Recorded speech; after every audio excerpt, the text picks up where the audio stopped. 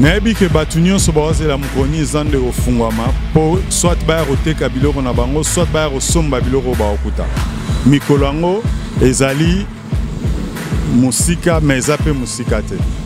nzambe abomba biso tolala tolamuka na fin du mois ya novembre 2023 zando ekozala esili baoyo baza na mposa koya koteka bakoya koteka baoyo mpe baa na mposa koya kosomba bakoya kosomba nayebi mpe lisusu ke bato soki batali mabele oyo neti yo ozomona eloko te eza kaka ndenge na babaki lisolo ya mwasi ya zemi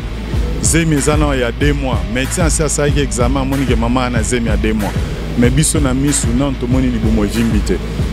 bazemi ya deux mois yango wana donc zando eza nao na zemi ya deux mois mabende oyo nyonso omoni ndambo esi ekoti na sa mabele moto amoni yango te ntango ekobanda kotonda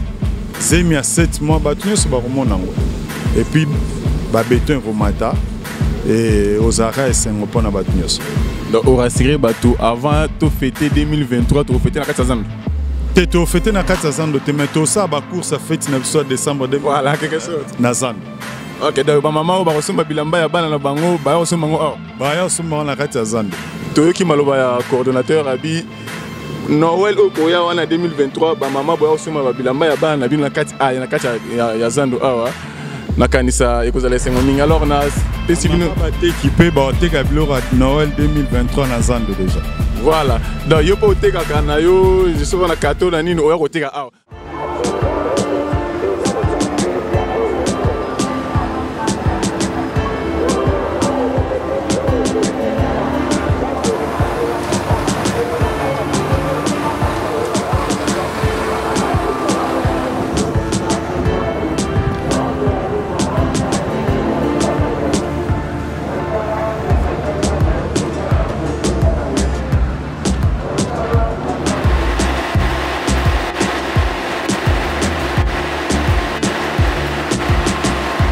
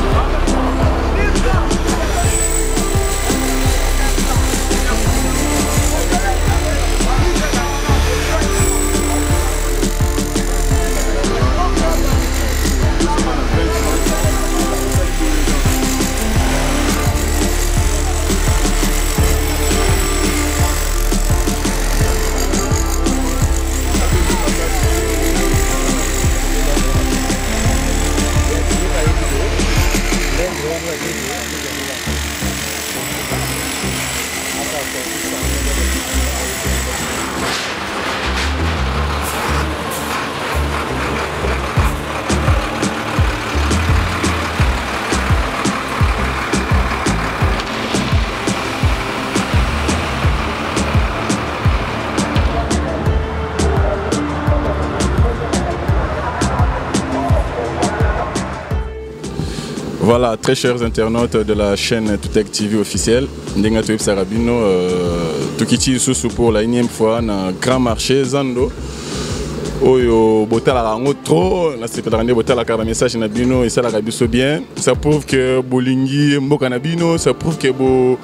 vous êtes derrière les actions du chef de l'État, ça prouve que vous êtes derrière les actions du gouverneur Gentini Ngobelambaka. En tout cas, na sepelaka surtout ne botelaka surtout makambatali zando. En tout cas, côté kuna cool chapeau na bino et na kosenga bino susu bo s'abonner massivement massivement na chaîne na bino, bo partager ba liens pamba te euh, makambo ezokende très bien dans les bons même. Alors lelo tokiti sur na grand marché mpo na kosola mwa moke na euh, grande personnalité aza pembeni na biso ngai nayebi ye misusu mpe bayebi ye te alors nakosenga na ye moko nde ase présente yambo tobanda masolo na biso mbote papa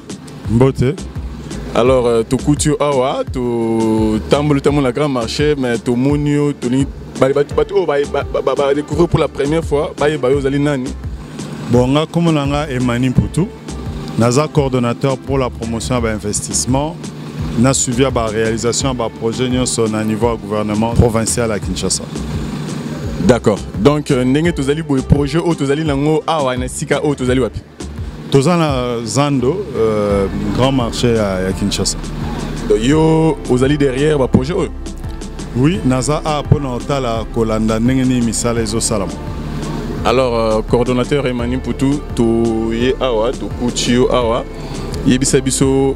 d'abord likambo nini ezali kosalema awa. Bon, awa na kati ya chantier ndenge omoni otamboli omoni ke toza na phase oyo nalobaki mbala moko na baémission ya bandeko mosusu ce que phase na biso ya liboso ya misala eza kotya bafondation ba to basaka misalo babengaka bapieu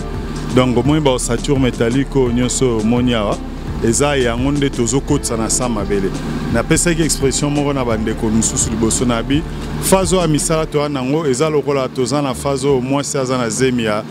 2 mois 3 mois nani evimbisi ye libumu te me zemi ya na kati mpo baosature métallique oyo nyonso ekokota na se ya mabele tokomona yango na misu te mais mabele eyebi ke nasi namemi autant de, de, de sature métallique donc toza na phase ya kotya en place bapieu bafondation oyo ekoyamba zando na biso alors atake coordonnateur bato misusu baye sika na chaîne na biso bakuti mpe makambo mosusu en cours alors soki tokozonga mwana ebandeli moke zando ekozala eza combien de mètre carré en fait oyo bakotonga eza combien de mètre carré epuis bapieu oyo bozotia ekozala combien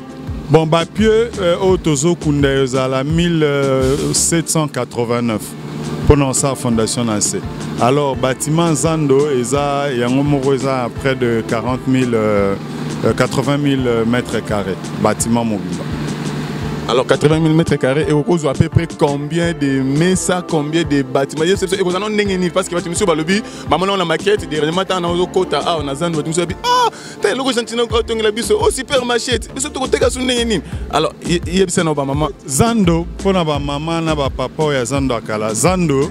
eloko ya sika eyeka eza bamagasin tootonga tout autour zando ya ndenge ya kala ekozalaka ndenge ezali na babiloko wana eza eloko ya mayebo eh? baetalage ezali mais cette fois-ci différence eza que baetale wana tozosala yango na brique rouge na beton na dala beton likolo liboso ezalaki bamesa ya mabaya sikoyo tozosala yango na babrike nayebi te soki ozwa etan omona okokolakisa tozwaki exemplaire wana voilà zando ekozala ndenge wana sikoyo ekozala bamilai boye alors mama na mama aza na 2 mètre 40 ya espace donc omoni ke ekozwa bato ebele donc motu moko akozwa 2 mètre 40 2 mètre 40 ye moko mpo na mesa na ye azana donc sikoyo mama otekaka pilipili mpe oza 2 mètre 40 mama otekaka bijou mpe oza 2 mètre 40 mama otekaka ballon tombole mpe oza 2 mètre 40 ka ndenge olobi baoyo bakolinga ebele koleka bakozwa bamagasin mais mpo na bamama oyo batekaka biloko nde tolobaka mesa zando mesa zando moko mpo na motu moko molai na yango eza 2 mètre 40 alors mpo na bamagasin sikoyo ekozala ndenge nini bamagasin ezali deux niveau magasin moko eza na dimension ya 6 mètre par 6 magasin moko pièce moko eza 6 par 6 soki ekozala deux niveau deux niveau donc na calcul tosali tokobimisa à peu près Euh, presque ba 538 magasins.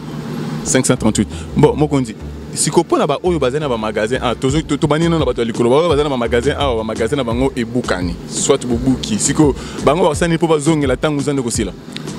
en fait il faut koyeba eloko moko tobukaka te gouverneur abukaka zando te mpo ezalaka plaisir na ye to azangaka eloko akosala na biro aye abi te tika nabuka zando te abukaka zando parce que ba magasin wana etongamaka likolo ya ba égout mpo na kodebouche ba égout wana ifalaki kobuka ba magasin ba magasin babukaki ezalaki 110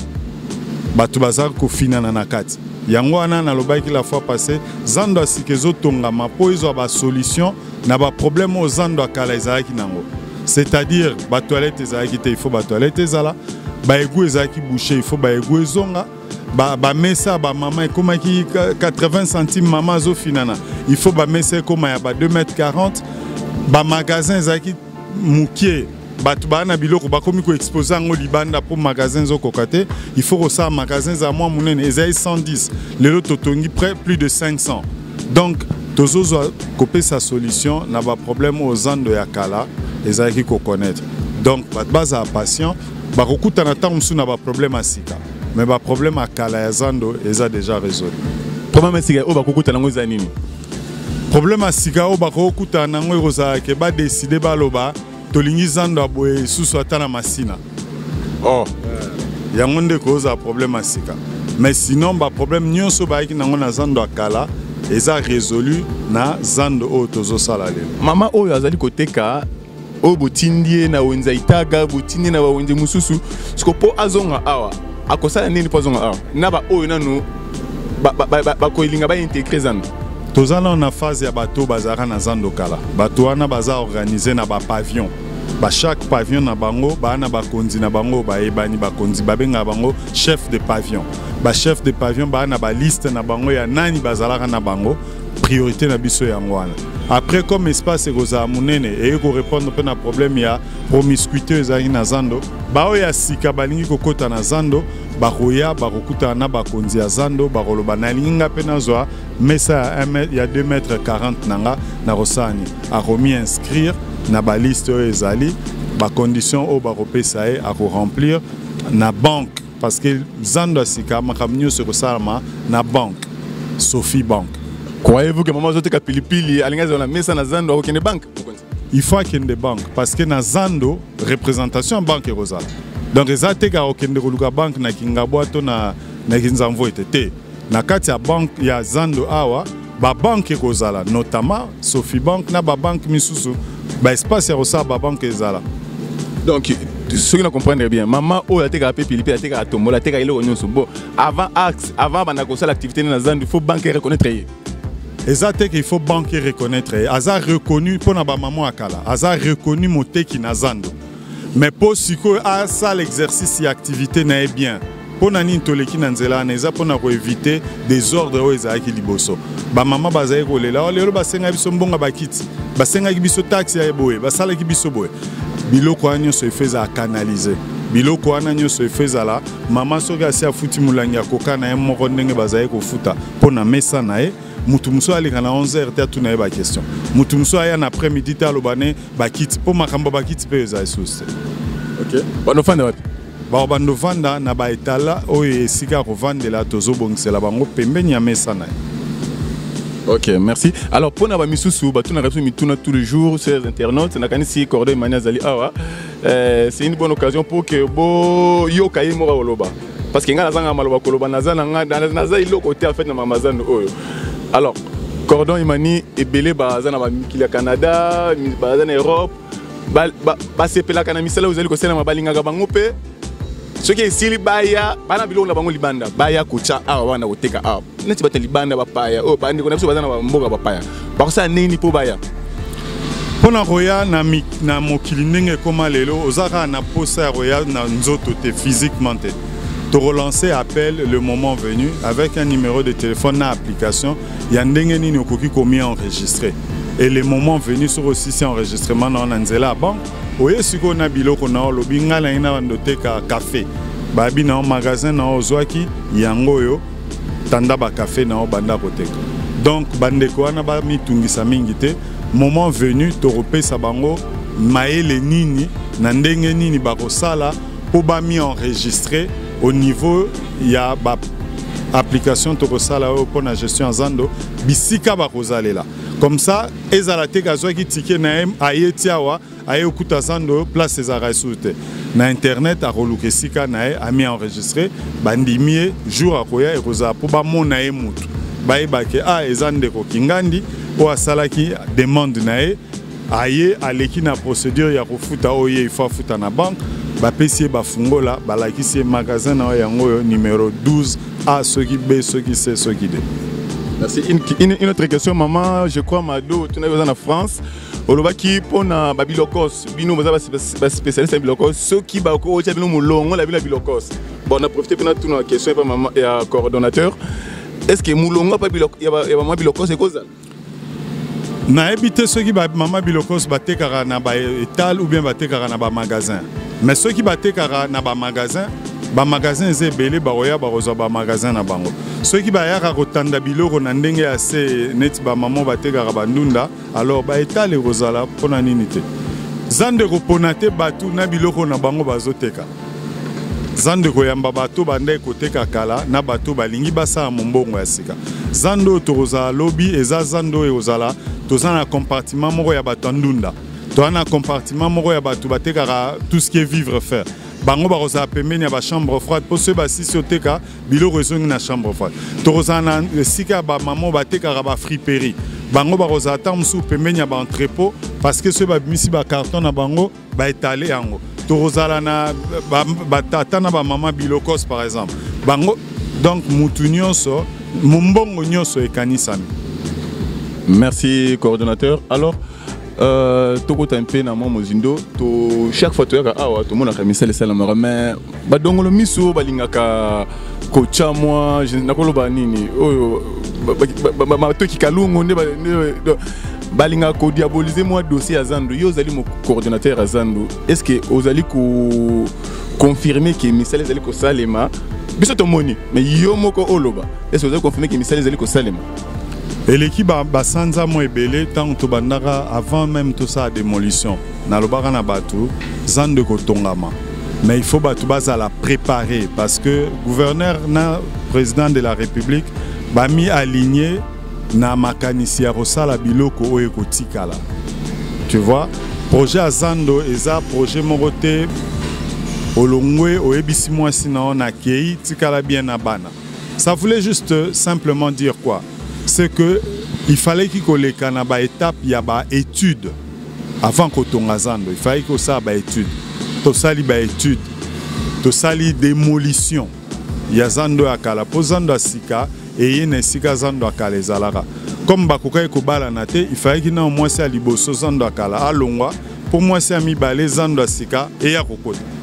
mwasi ya mibale zando ya sika ye oyo akoti na esika oyo balongoli zando ya kala ezalaki alors bato ifo bayekola ba kozala ndenge tozalaka na ntango ya kala omoni baimmeuble lokola ba rtnc baoyo oh, lelo ekoma hotel fleuve congo sozacom bcdc wana banque wana baimmeuble wana etongamaki na mayele yango omoni ti lelo toyokazali eza na fissure oyo ezwi inondation oyo esali boye nde bongo na makanisi wana tata mokonzi ya ville ya kinshasa asengaki mpe zando etongama zando ezotongama na banorme ya solo ya kozala na bomoi ya molai koleka tozalaki na zando lelo ebukani tobukaki yango mpo totonga zando ya bien totonga zando eza na batoilette mpo elongwaki ekomaki na deux toilettes totongi zando oyo bamama bafinana te tozotonga zando oyo ezalaka te bamama asisi koteka asangisi biloko na ye atie na motu akei nango tozotonga zando mama asisi koteka abombi bilamba biloko na ye azipiki yango kaka mpo ezwa ntango mosusu poussière te ah, eti elali kaka wana elali wana mpo oh, ndenge nini ekovanda wana mpo eza sécurise ah. tozotonga zando oyo eza na baporte d'entrée connue mpe na baporte d'entrée sortie oyo eyebani mpo na kokota bokotela na porte x mpo na kobimabima na porte x oui mpo epa baninga eza ndenge wana il faut mpe epa na biso ezala ndenge wana mpo na nini mpo lelo tokotya bakamera soki mutu moko aza na comportement ya mabe bamoni ye avant bima na kati ya zando bakoki kokanga ye mpo na koyebisa ye outi kosala mabe esika boye senga bolimbisi repare bongisa yango c'est comme ça que zando oyo ezwaki biso mwa ngonga moke ya kosala baétude mpo na korépondre na baproblème oyo zando ya kala ezalaki nango donc ozo confirme biso que zando eza allure ya zando ekenda ekenda le bon Zando ezotongama ndenge bakanisaki yango na mikanda na bacalcule ndenge mpe bakomaki ke eza 14 mois bamwa esi eliami déjà lelo totikali na 12 mois 11 mois na quelque chose rendez-vous eza na mois de novembre 2023 nzambe soki abombi biso soki tokutani na baoyo babengaka na français ba cas de force majeure te zando ekosila na novembre feti ya 2023 toya osala bacourse na kati ya zando Ok, euh, merci Cordon Toyoki. Moi, avant de chuter, bah, puis au lobby, autant de 1000, plus de 1000. Est-ce que vous avez un nombre exact Il y a oh, déjà bosali okuni ekunami nasema parce que jusque là tomona un peu terrain vide c'est comme si rien esalemi te mais ngai naza conscient chers internautes nakasi bino mpe botalaka baimage à chaque fois bomonaka ndenge bakundaka bakundaka bakundaka toyaka tous les jours te tolekisaka mwa 25 jours 30 jours toye lisusu mwa 20 jours mpo na tolakisa bino évolution mais chaque jour to apprendre kutu ke basalaka ti butu bakomasa ti butu donc butu moi butu moi alors euh, tolingi tozwa mwa soki cordon akozala nombre exact avant toshite cordon est ce que kozala nombre exact ya bapie oyo oyo botie déjà na se Bon, ba rapport ya ba pieux eza ebimaka tous tous les jours je pense. Euh, boye rapidement na nayebi que tosi toleki 200 ou 300 pieux déjà. Na tosi toleki 252 ou 253. Lelo na poko avant butu bakopesa biso sous papier tokobakisa et puis ainsi de suite. Alors, euh, cordon dernièrement totalaki na baitano mike ya baetonike tomoni on dirait un petit conflit elingi elingi esalema ebotama entre bino zando na jardin botanique mwa moke ezali nini tokomprane bamisusu bakomprane bamisusu bakomprane te ezali nini en fait nga mpe kaka neti bino namonaki video moko ezalaki kocircule na réseaux sociaux ezalaki ya chaîne moko rtga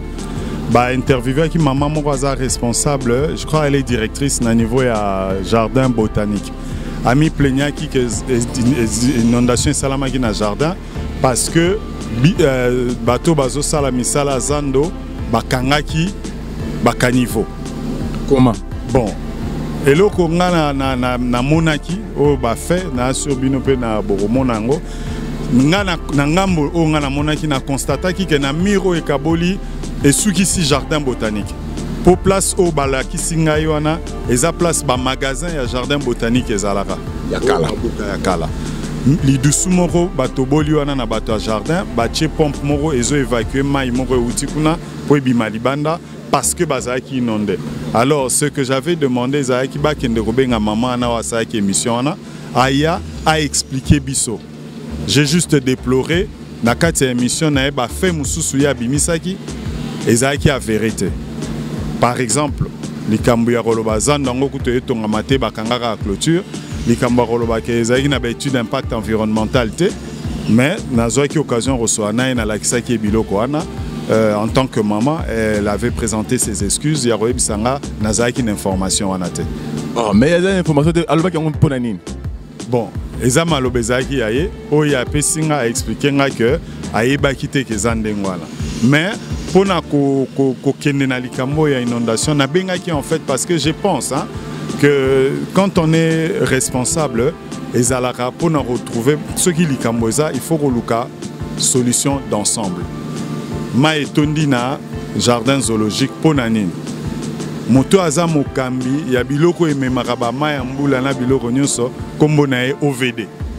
okay. ngai nabengaki bato ya ovd lobi bayaki awa nalakisi bango biloko wana ya jardin botanique nalakisi bango mpe na bamai oyo evandaki awa na kati ya zando natuni bato ya ovd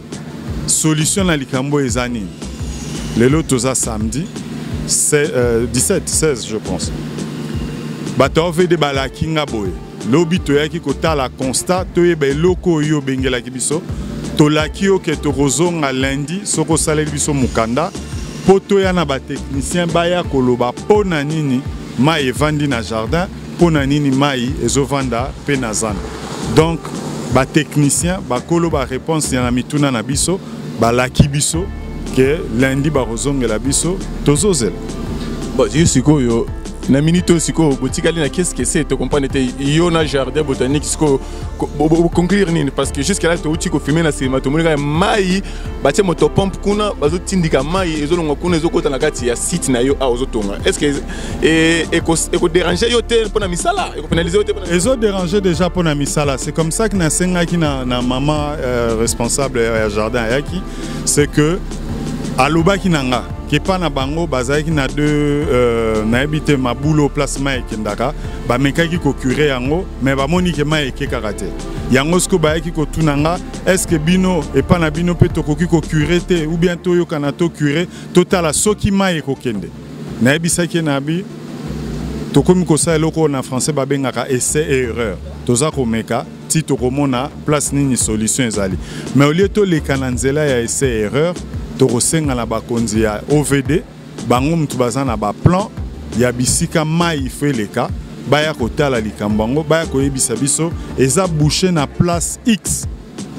mpo mai continue koleka voici ce qu'on doit faire donc biso na zando tozongiseli mayele wana na bato ya ovd ndenge balaki biso bakoya bakozwa solution alors euh, coordonnateur est ce que na allure oyo misala ezali kosalema mais tozali komona kaka nombre ya bachinois nombre ya batravailleur en fait ma main d'œuvre nanu eye ndenge olobaki te ou bien euh, ekoya to esukaka na main d'œuvre oyo non tolobi boye mosala zando ezotongama eza na baphase misala oyo tosala lelo eza misala ya kosala baarmature ya bametal oyo mpo na kosala ba fondation okay. ça veut dire quoi lelo toza na on a besoin ba charpentier te ntango bakozala na besoin na bango mpo na kosala bacoffrage bakoya lelo toza na on a besoin ya plombier te ntango bakokóma na besoin ya baplombier bakoya donc lelo toza na besoin ya baferrailleur nde omoni baza kosala misala oyo etali makambo ya ferai ya mabende kosude kokanga ndenge bomoni bandeko bazosude ntango tokosilisa phase oyo tokokóma ntango mosusu na phase ya kosala bacolone ya beton tokozala na besoin ya bato oyo basalaka bacoffrage mbele ekosalingama bandeko bakongole oyo omoni baosala oyo bayebi mosala ya coffrage bakoya et ainsi de suite c'est pas que euh, lelo tokobenga bato nyonso bacor de métier nyonso baya te ndenge besoin eza kotindama na mosala ndenge bakoba banda koya alors peut-être répondre avant dernière question cordon bato tu baza aux alentours ya zandu baderangeaka bino te mpona misala baderangeaka clôture te baforce yango te est ce que boza assuré ke boza na, na sécurité pendant ke bosala batravaux bon désordre ezangaka te ya mwa babiloko ya mike mike eyaka yango na profite na occasion mpo na koloba ke bandeko baza voisin ya site oyo eza na, na, na se ya misala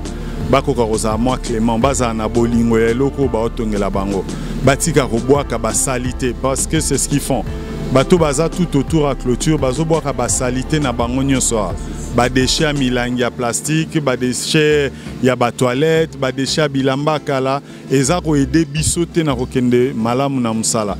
par exemple biloko ya toilette nayebi ke baza na batoilette te ezopose problème bazala na patience batika kosala salite wana eya awa batoilette mike publique basalela bango ya zando bakoki koutilize yango en entendant oyo biso tokanisi ekozala ebele mpona bango nyonso alors euh, question nini oyo natuni yo te ndenge ngai tuna ome natuni yo te epuis maloba nini okoloba mpo na bato tu bazotala o monde entier apropo ya zando nayebi ke bato nyonso baozela mokoni zando ekofungwama mpo soit baya koteka biloko na bango soit baya kosomba biloko oyo bakokuta mikolo yango ezali mosika me eza mpe mosika te nzambe abomba biso tolala tolamuka na fin du mois ya novembre 2023 zando ekozala esili baoyo baza na mposa koya koteka bakoya koteka baoyo mpe baa na mposa koya kosomba bakoya kosomba nayebi mpe lisusu ke bato soki batali mabele oyo neti yo ozomona eloko te eza kaka ndenge na babaki lisolo ya mwasi ya zemi zemi eza nawa ya de mois médecin asi asalaki examen amoni ke mama ana zemi ya de mois me biso na misu nano tomoni libumu evimbi te bazemi ya de mois yango wana donc zando eza nawa na zemi ya de mois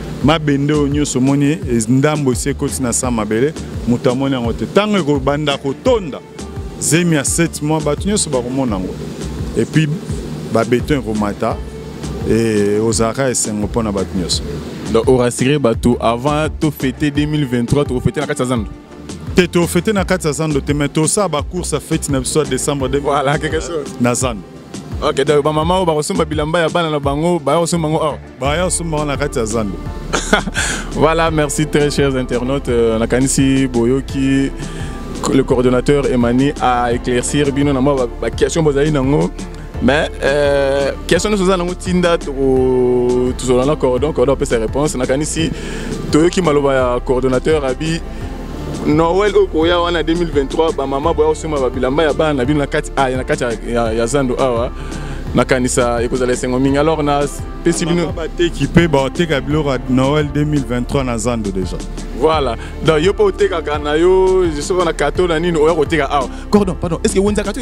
itaga nini ekokufa te mpo babomi yango mais ekozanga ndenge ya koexiste mpo bato wana nyonso baoya kokota na bango awa oza sur parce que kino alingaka te kaka na balabala donc ozoleka osombi okei donc kino alingaka te kino okota na kati te tobaki zando ya sika na bizaleli ya sika biso moko mpe basombi ifo tozala na bizaleli ya sika bateki mpe bakozwa bizaleli ya sika nakanisi boyoki cordon emani ndenge alobi euh, zando ya sika tolingi tozala na bizaleli ya sika je pense que ce n'est pas ya koteka na balabala nde okoteka koleka moto na kati te epuis biso mpe basombi fo tozala na bizaleli ya sika donc tosombaka te biloko oyo baotanda biso na balabala na se neti na periode ya mvula boye biloko eza etale na potopoto ce n'est pas bon le coordinateur éclaircir bien zando ya sika ekocontinue motu nyonso tu ata otekaka dembo mapilipili oza na place na zando atotekaka 18 ballon oza na espace na kati ya zando donc euh, c'est pour tout le monde alors euh, je nous invite tous ya koparticiper na ya koencourage misala ezali kosalema euh, kodécourager ce n'est pas bon mais koencourage c'est mieux alors euh, merci beaucoup na bino tout bolandaki biso Bon, continuez toujours na ko zala connecter na chaîne Amino Tech Télévision. Bon, partagez le lien, euh, faites abonner, bah, oh, bah, non, abonné, te, bon, ça va que Zando et bah, hôtel Mara na chaîne Oyo. Nil par ailleurs, biso nde tozana exclusivité ya Zando. Ti to bandaki yango ti ekosika ti to inaugurera Zando. Bon, hôtel Mara na chaîne Oyo. Donc j'espère que euh, on est dans les bons, les choses évoluent très bien. Merci beaucoup Nabino tout, Bozali